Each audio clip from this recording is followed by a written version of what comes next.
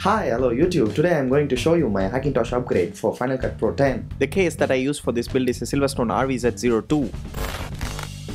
This case looks like a stealth warrior but packs a punch of a Hulk. Initially I want to buy a R9 Fury or a R9 Nano but the power consumption might kill my system so I went to buy the RX 580 4GB version. The beauty of this card it's only 170mm in length and it requires only 6 pin power connector which fits well in my case.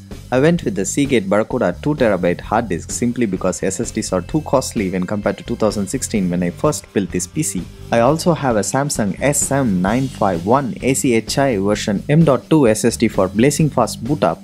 The boot drive for Windows that I use is a Kingston SV300 120GB SSD.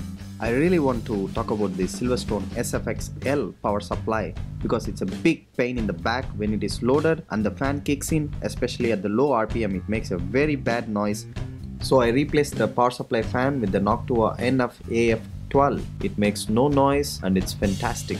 There is simply no space in this case for doing any cable management whatsoever and the USB 3.0 cable is so thick you cannot even bend it in this case. There is nothing special about this optical drive, it's just a slim optical drive for the laptops. Time to compare the performance of this Hackintosh along with the Snazzy Labs iMac and the Snazzy Labs Franken Mac Pro and I feel the performance is very good. If you like my videos, hit the like button. If you want to watch more videos like this, hit the subscribe button. Thank you very much for watching this video. Have a great day. Bye bye.